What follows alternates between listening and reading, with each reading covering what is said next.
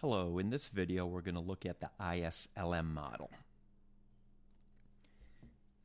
We have an economy characterized by the following equations. We have a consumption function where consumption is going to be a function of Y income and uh, here T is taxes. And we have an investment function, I, where R is the interest rate Government purchases, G here will just equal $200. We also have taxes, T, and that will also equal $200. So the first thing we're going to do is solve for the IS curve. This is a closed economy because there are no uh, imports or exports or net exports. So y equals c plus i plus g in a closed economy. And our first step is to substitute in for these three variables. So for c, we're going to just plug in the consumption function. For I, we will plug in the investment function, 300 minus 25R, and G is just $200. In step three, the only thing I did in step three was for T, I now plugged in taxes. Okay, so now we have that. And what we basically want to do is solve for R, and that will be our IS curve. So in step four, I did a little bit of simplification. I took this 0.75 and multiplied it through by what's in parentheses, so that's where the 0.75y is coming from. And then I took 0.75 and multiplied it by minus 200. That'll be minus 150. And then adding up all these other uh, constant terms, we have 600 on the right hand side. All right, uh, solving for r, moving this 25r to the other side and then moving y to the uh, right hand side, so this 0.75 y minus y, so I just move this y to the right hand side uh, by subtracting y from both sides, so that leaves us with minus 0.25y, 0.75 minus 1y, minus 0.25y then. And now dividing through by 25, here is our IS curve. If we wanted to, we could graph it. All right, we'll come back to this. Let's move on to the LM curve.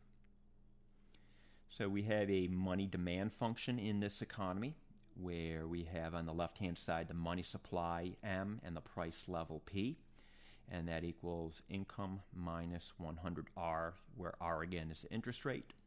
We'll assume the money supply is currently at $1,000 and the price level is at 2. Plugging 1,000 and 2 into the left-hand side and simplifying, we will now derive the LM curve. So 500 equals y minus 100r, solving this for r, I'm moving over here, uh, dividing through by 100, r equals y divided by 100 minus 5.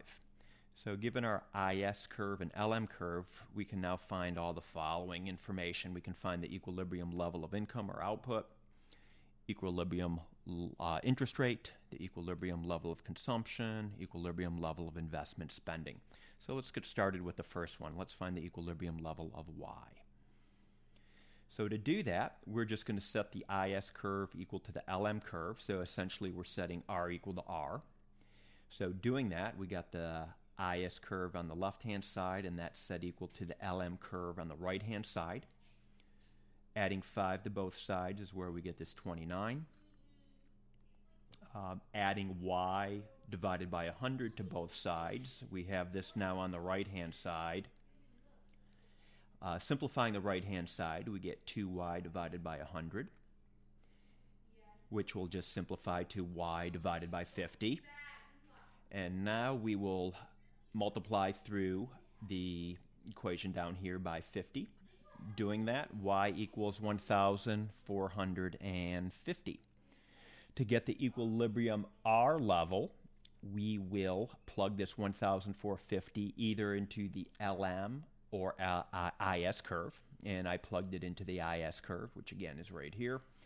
So doing that, simplifying, we get the interest rate, equilibrium interest rate of 9.5%.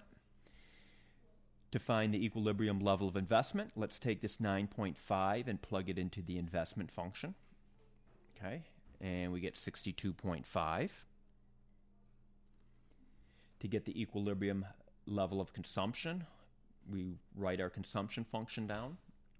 And for y, we will plug in 1,450. Doing that, we have our equilibrium level consumption of $1,187.50. And we can check our answer. Uh, we said y was 1,450, and that should equal our values for c plus i plus g, and it does. So the left hand side equals the right hand side. So that is the end. I hope you found this video helpful.